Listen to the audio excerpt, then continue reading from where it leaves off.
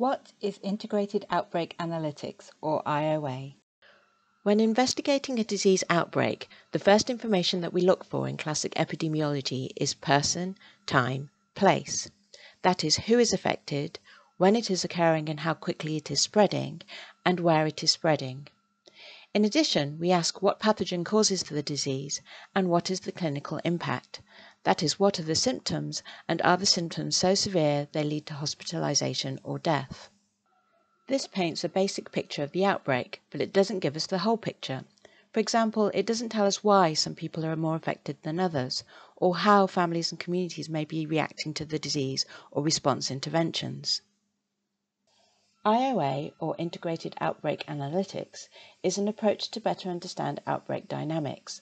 IOA tells us why a disease occurs in a particular location or community at a particular time, and how the disease as well as response activities affect the communities. A better understanding of the perceptions or behaviours of communities might help explain why they are at increased risk. Surveys, interviews, or focus group discussions are all good ways of gathering this information.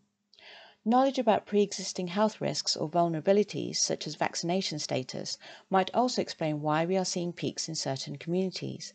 This data is provided by health facilities or national health information systems, such as DHIS2.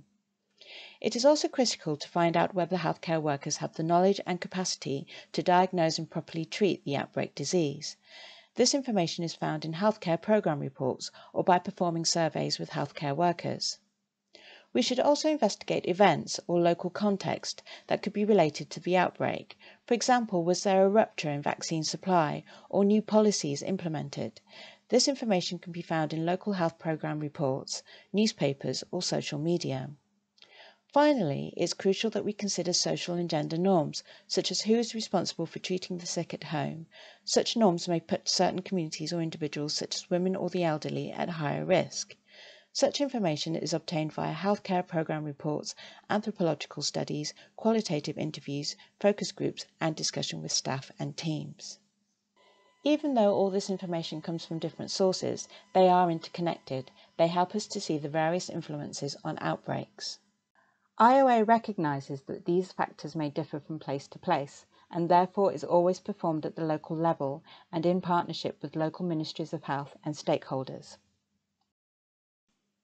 To find out more about IOA, please select one of these videos.